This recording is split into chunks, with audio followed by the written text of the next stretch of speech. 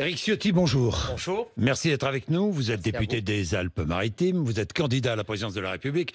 Vous aviez annoncé votre candidature ici même. Ça vous a porté chance, hein, Eric Ciotti, puisque On, on verra, mais en tout Oh, cas, euh, j'étais heureux de le faire ici. Euh, Bon, dans tous les cas, ça semble vous avoir porté chance puisqu'on dit, on dit que vous pourriez être au second tour de euh, la compétition LR.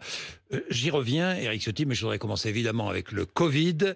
Ouvrir la vaccination troisième dose à toutes les classes d'âge, c'est une de vos propositions? Bien sûr, il faut le faire, et je crois qu'on a même trop attendu. Des pays euh, l'ont déjà fait avant nous. Euh, c'est une nécessité. Moi, je crois au vaccin. Je l'ai toujours dit. Je crois à la science. Je crois au progrès.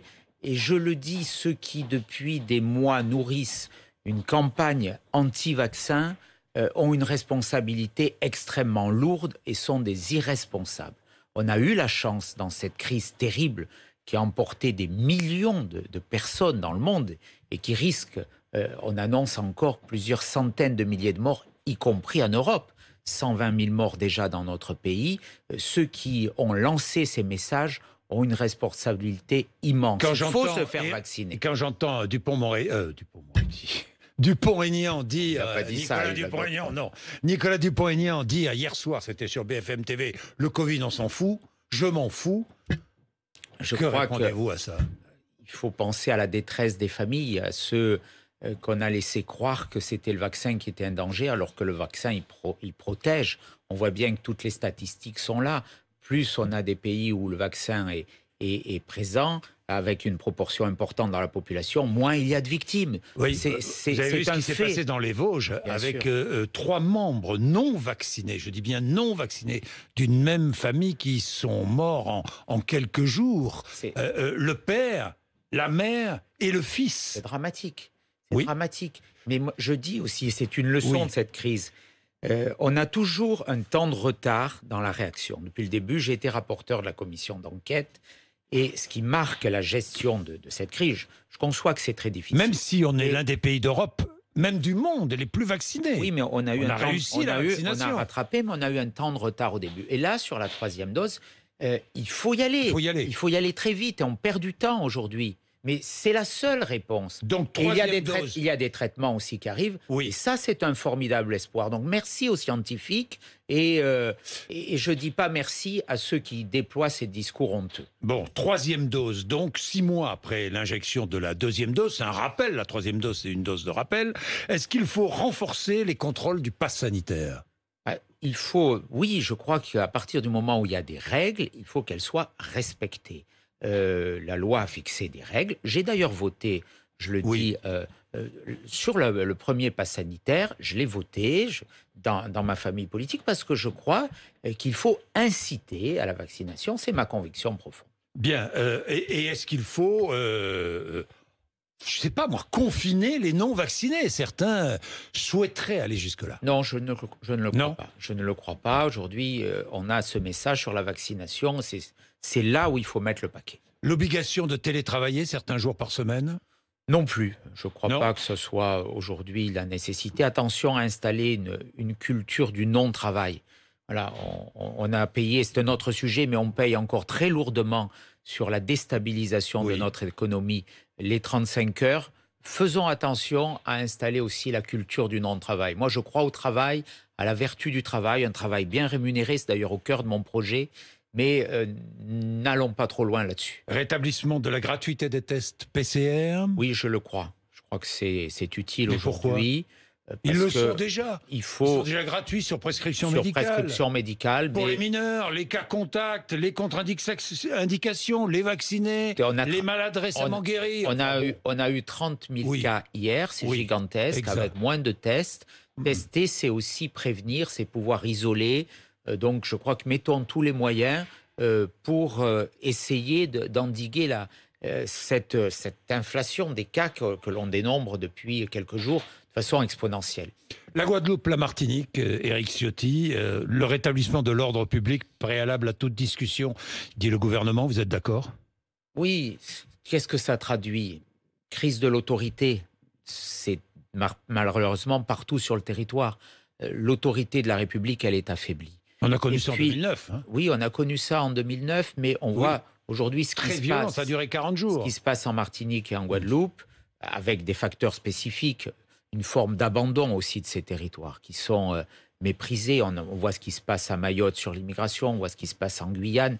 Euh, il n'y a pas de véritable politique sur les Outre-mer. Moi, je suis choqué aussi euh, que le président de la République, alors qu'on aura un référendum décisif sur la Nouvelle-Calédonie, ne se prononce pas, qu'il soit neutre, alors que la présence de la France euh, dans l'Indo-Pacifique est essentielle au travers de la Nouvelle-Calédonie. Donc, il y a un mépris, on ne regarde pas ce qui se passe dans les Outre-mer. Il y a un taux de pauvreté en Guadeloupe, en Martinique, qui est, qui est très, très fort. On a des services publics délabrés.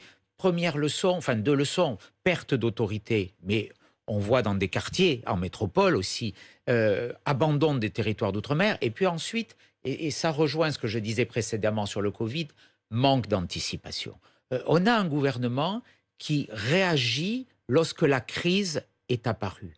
Euh, pour moi, gouverner, c'est c'est prévoir. Je crois qu'il faut qu'on regarde un peu plus loin, euh, qu'on ait des gouvernements qui ne soient pas que dans l'instantané, euh, dans, dans le moment, dans l'instantané. Il faut qu'ils aient une vision, il faut qu'on arrête avec l'excès de communication. Là, on a vu, on a envoyé euh, Oui. de façon un peu symbolique le RAID, le GIGN. GIGN. Mais tout ça, se Une provocation, dit Jean-Luc Mélenchon. tout ça se prépare. Provocation inutile? Ça peut être utile. On a, on a tiré sur balles Oui. réelles, mais c'est pas le cœur de métier Oui. de ces forces d'intervention qui sont là pour Alors, libérer des faut- otages. est-ce qu'il- Il y, a, il y a des forces de maintien de l'ordre, il y a des véhicules Oui. blindés de la gendarmerie qui sont faits pour ça, pour lever les, les barrages. Donc la réponse policière, le maintien de l'ordre, on sait faire. Là, on est dans la com. Et moi, je voudrais qu'on ait enfin un gouvernement. Euh, Sur la crise sanitaire aussi, je disais toujours un temps de retard. Sur la sécurité, on ne réagit.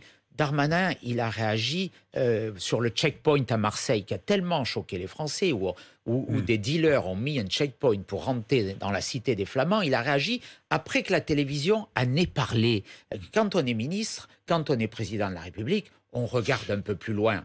Même si dans la crise sanitaire, le quoi qu'il en coûte était, était une, une, une démesure, des mesures efficaces et prises tout de suite. On- on- on verra bien. je- je- on verra bien. Bon. La comparaison avec les autres pays, Oui. euh, il y a eu moins d'argent de dépensé et plus de croissance, Mm. par exemple en Allemagne. Donc Oui, il faudra euh, le payer, le quoi qu'il en coûte. Plus de croissance en Allemagne, ça, il faudrait vérifier. au, les- au cœur- au cœur de la, au cœur de la Euh, Mais crise, en ce moment, il y a plus de au croissance en cœur de la crise, Allemagne, hein. en, 2000, Et- et en, Eric deux- Ciotti. en 2020, nous, on a eu moins 10, Oui, mais en moins, 2020, moins mais en 6. 2020, moins en 6, 2021, oui, comparé à la croissance. Comme on est descendu plus bas, on remonte un peu plus haut. Bon. Mais euh, le, le final, il est plus favorable à l'Allemagne avec moins d'argent public Bon, dépensé. bon, Éric Ciotti, euh, envoyer le GIGN et le RAID, donc c'est utile, mais c'est pas la solution. Enfin, Alors il y a une autre, une Je autre. dis pas que c'est pas la solution, mais Est-ce c'est qu'il faut première. négocier l'obligation vaccinale en Guadeloupe et en Martinique Non, des personnels soignants et des pompiers? Non, Non. je, je ne le crois pas. On ne Ah, négocie pas. Il y a une unité de la République. Bon. Euh, quand on est soignant, on ne met pas en péril Et- les patients qu'on soigne.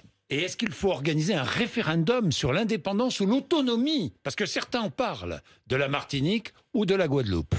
Je ne le crois pas. Je crois qu'il y a un attachement euh, très, très fort euh, de ces territoires à la France. Mais il faut que la France euh, considère ces territoires. Et aujourd'hui, je le redis, il y a un mépris insupportable. Et moi, euh, je veux être aussi euh, demain celui qui retémoignera cet attachement à nos territoires d'outre-mer. On a une force, une force euh, maritime, une présence géopolitique force, forte dans, dans tous les continents du monde, un espace maritime qui est un des premiers au monde grâce à nos territoires d'outre-mer. N'abandonnons pas nos outre-mer. Leur situation est dramatique aujourd'hui. Euh, Éric Ciotti, seriez-vous un faux-né de l'extrême droite? Moi, je suis. J'entends, j'entends ces discours. euh, Oui. Ils sont téléguidés par nos adversaires, par la Macronie. Vous savez, moi, je suis candidat dans cette élection pour casser les codes du politiquement correct. Je suis un homme de droite, je le revendique. Je suis gaulliste. Toute ma famille personnelle, ma famille politique a, a toujours été gaulliste. Je suis né dans un village qui est classé juste parmi les nations, euh, qui a accueilli des juifs pendant la Seconde Guerre mondiale. Moi, j'ai le souvenir enfant de ma grand-mère où un de ses amis juifs venait l'été parce que il avait été euh, là euh, en 43. C'est ma culture. J'ai je porte une vénération au général Oui, de. Gaulle.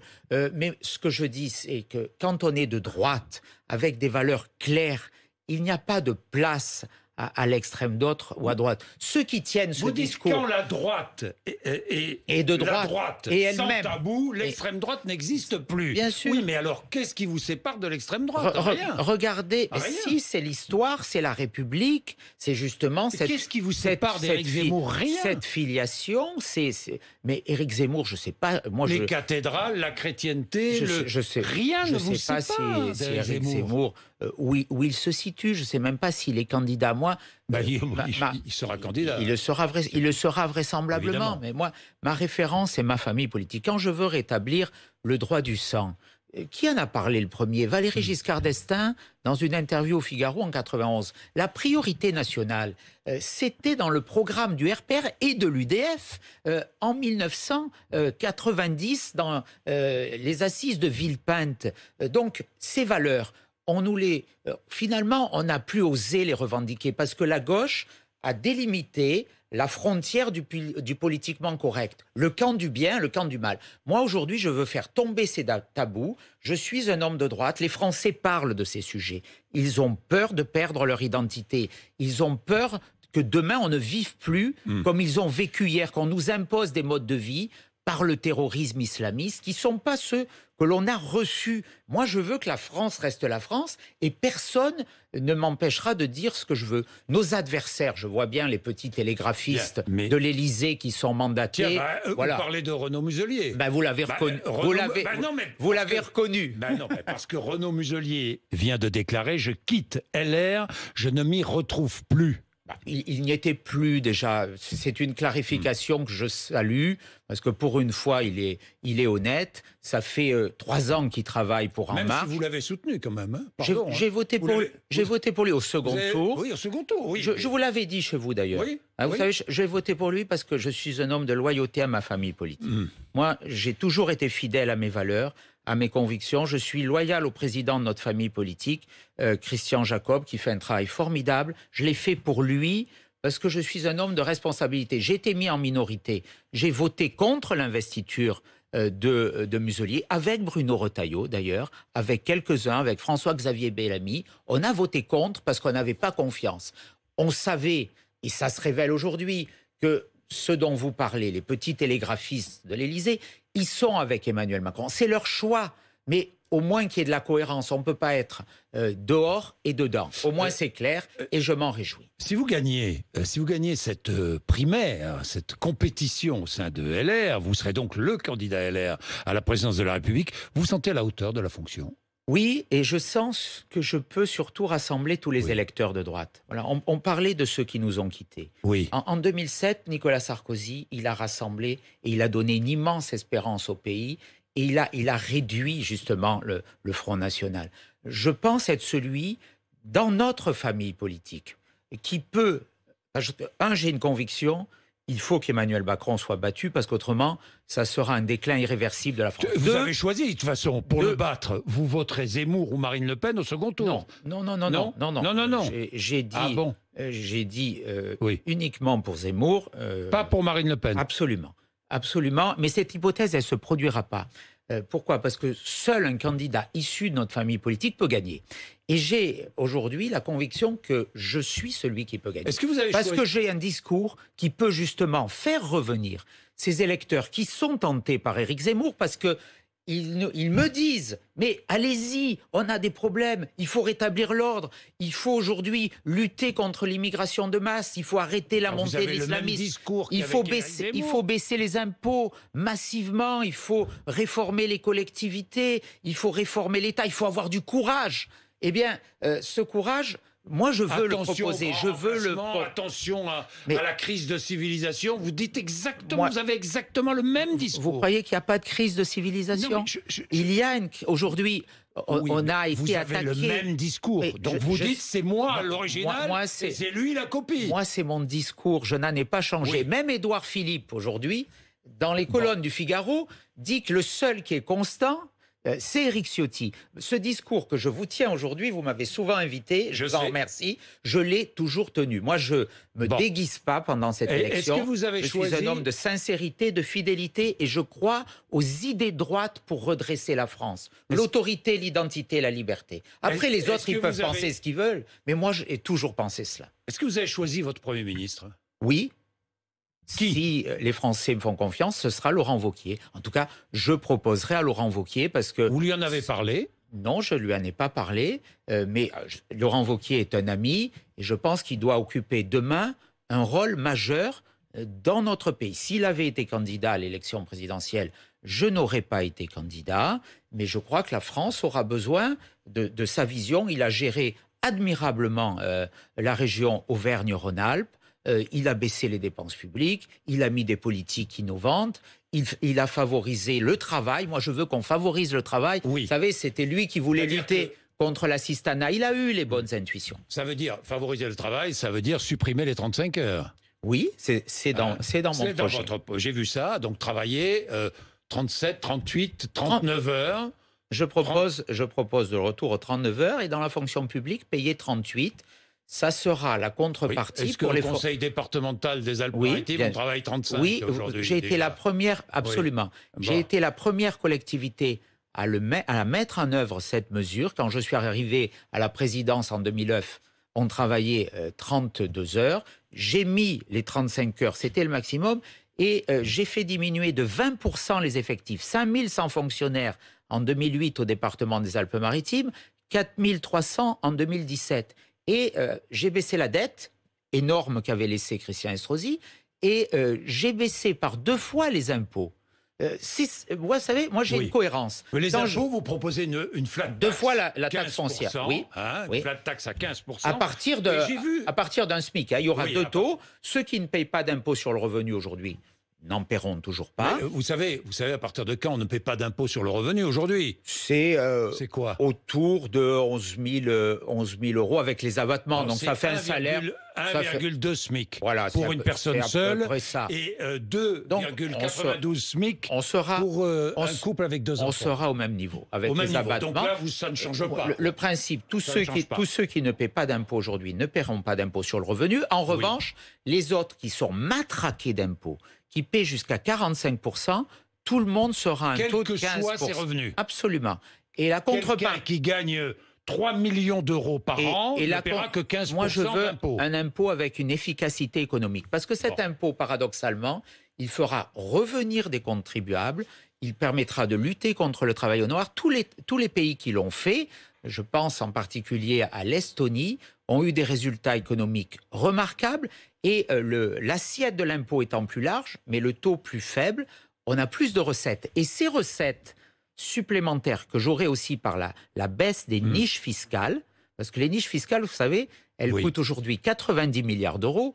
La Cour des comptes nous a dit que la moitié d'entre elles étaient inutiles et inefficaces économiquement, et elles euh, coûtent plus que l'impôt sur le revenu rapporte. Donc moi, je propose que le gain qu'on va avoir, parce qu'on aura un gain avec cette mesure, nous le placions à la baisse, vers la baisse des charges salariales et la baisse des charges patronales pour que le salaire net augmente. C'est-à-dire que quelqu'un qui gagnera 3 000 euros, qui gagne aujourd'hui 3 000 euros net par mois, eh bien, il aura une augmentation mensuelle de 150 euros. Euh, c'est pas négligeable. Moi, je suis un homme de droite. Un homme de droite, il verse pas des primes, euh, il va pas vers l'assistanat. Un homme de droite, il diminue les impôts on a le record du monde des impôts. Il faut arrêter. Et, euh, en même temps, il faut, que il faut diminuer. En même temps, je ne devrais pas dire la formule. Parallèlement, il faut diminuer les dépenses publiques. On ne peut plus être aussi un pays euh, asphyxié par une bureaucratie. 250 000 fonctionnaires en moins, c'est ce que vous proposez. Je ne vais pas entrer parce que... Je reviens dans l'esprit du programme de François Fillon. J'ai compris. Euh, Qui était un très bon je regardais tout votre, tout votre programme, je vois euh, le, consommateur de cannabis, 1000 euros d'amende. Oui. C'est-à-dire que je fume un joint, 1000 euros d'amende. Amende forfaitaire délictuelle. 1000 euros d'amende. Oui, aujourd'hui, ah, cette mesure a été votée par ce, cette, euh, aujourd'hui. C'est une bonne mesure, l'amende forfaitaire délictuelle. Vous savez, la drogue, c'est un fléau terrible en termes de santé publique. Et ça nourrit tous les réseaux de criminalité. 79 assassinats depuis le début de l'année, de règlement de compte sur fond de trafic de drogue. Euh, aujourd'hui, c'est le chiffre d'affaires de la drogue, de la délinquance, de l'économie parallèle, c'est 3 000 milliards d'euros. C'est euh, pardon, c'est 3 milliards d'euros. 3, 000 milliards d'euros, c'est la dette. 3 milliards d'euros, excusez-moi. Euh, ils tiennent des quartiers entiers. Donc si on ne s'attaque pas à la consommation, euh, on, maintiendra toujours un trafic. Donc il faut bien sûr lutter contre les trafiquants. Je propose des, saisies beaucoup plus fortes euh, de, bâtiments, notamment de hmm. produits euh, de, ces trafics. Je propose qu'on fasse payer les jours de détention des gens qui sont en prison, parce que quand on est trafiquant de drogue, hmm. quand on gagne des millions d'euros, c'est pas à la société de payer les jours de prison. Je souhaite, troisième volet, parce que c'est une politique globale, qu'on ait une action diplomatique très forte contre les pays producteurs, notamment le Maroc, qui est un pays qui exporte de la drogue. Il faut s'attaquer. Si on ne fera pas reculer la délinquance, si on ne fait pas reculer le trafic de drogue. J'ai une dernière question. Vous êtes favorable au retour du service militaire. Est-il vrai que vous avez tout fait pour échapper au service militaire C'est faux. Euh, c'est vrai ou pas Vous l'avez fait ou pas C'est faux. Non, je ne l'ai pas fait pour des raisons tout à fait légales par rapport à ma situation familiale. Euh, voilà, il y avait simplement, j'avais demandé un report. Et ensuite, j'ai eu une situation familiale puisque euh, j'attendais la naissance, euh, mon épouse attendait la naissance de ma fille, et c'est dans ce cadre, à la fin du service militaire. Mais euh, aujourd'hui, moi, je, je, suis favorable, naturellement, à des dispositions qui favorisent l'unité nationale. Merci d'être venu nous voir, Eric Ciotti, ce matin sur RMC et BFM TV. Il est 8h53.